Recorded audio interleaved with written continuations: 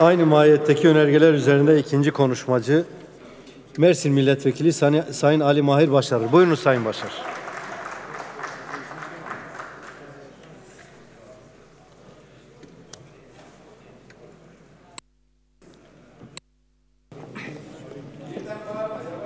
Tamam yavaş yavaş. Genel kurulu saygıyla selamlıyorum. Evet. Yani Sayın Başkanım artık benden günah gitti demiyorum tabii. Gerçekten burada bir hikaye anlatmak istiyorum. Ve dinlemenizi de istiyorum bunu. 1990'ların başı fakülteyi bitiren genç bir hukukçu. Erzincan hukuk fakültesine asistan olarak başvuru yapar. Sınavları geçer, prosedürler yerine gelir, güvenlik soruşturmasına takılır. Hemen Marmara Üniversitesi'ne başvurur, orayı kazanır. Doktorasını yapar, doçent olur, profesör olur, milletvekili olur, meclis başkanı olur. Mustafa Şentop. Ben böyle bir haksızlığa uğramış bir kişinin meclis başkanının anayasaya aykırı anayasa mahkemesinin iptal ettiği ve geçen hafta bu meclisten dönen yasayı getirirken yüzüm kızarır. Ve daha beterini getiriyor. Değerli arkadaşlar, bakın bu güvenlik soruşturması, araştırması, arşiv araştırmasından başbakanlık yapmış, Binali Yıldırım da mağdur olmuş. Grup Başkan Vekilimiz Engin Altay 5 yıl atanmamış. Ama bugün daha beterini getiriyorsunuz.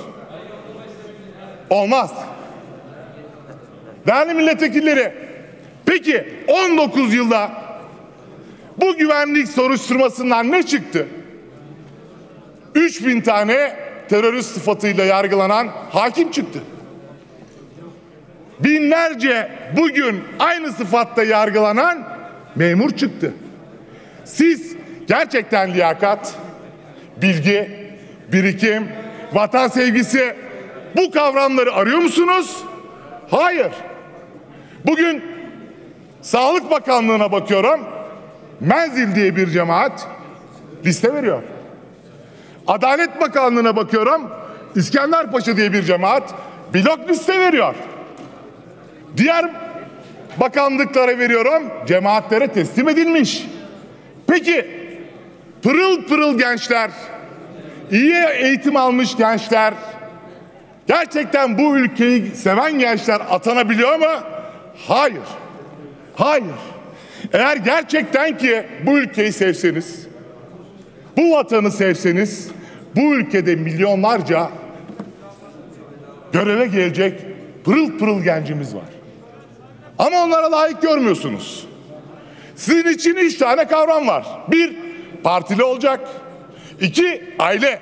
Soy ağacı çok önemli. Üç, cemaatler liste verecek. Olmaz. Olmaz. Evet bakın ülkesini sevenleri atıyoruz diyorsunuz. 15 Temmuz'da gördük bu ülkesini sevenleri. Atadığınız o hakimler, o polisler bu meclisi bombaladı. Aynı anlayış devam ediyor. Aynı anlayış daha daha daha vahşi bir şekilde devam ediyor. Biz maalesef ki size ısrarla 2009'dan beri söyledik. Burada rahmetli Kamer Genç konuştuğunda saldırdınız. Defalarca söyledik. Bu ülkede sizin getirdiğiniz bu yasa devleti çok daha fazla geriye götürecek.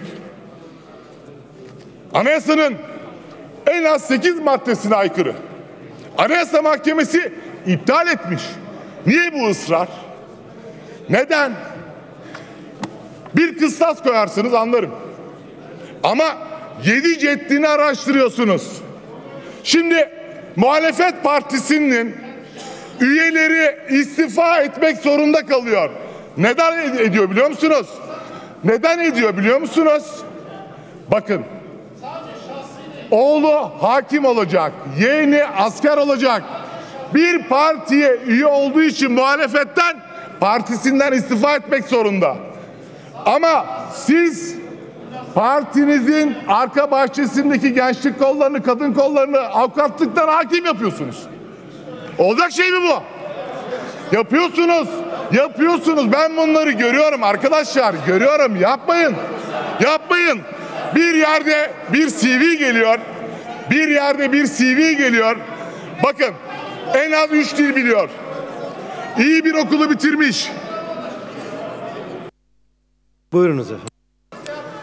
İyi bir okulu bitirmiş. Pırıl pırıl. Terörle hiçbir bağlantısı yok. Sınavdan çok yüksek not almış, giremiyor, giremiyor. Çok örnek var. O kadar çok örnek var ki sulh ceza hakimlerine, Asya ceza hakimlerine bakın bir. Özellikle atanan hakim ve savcılara bakın bir.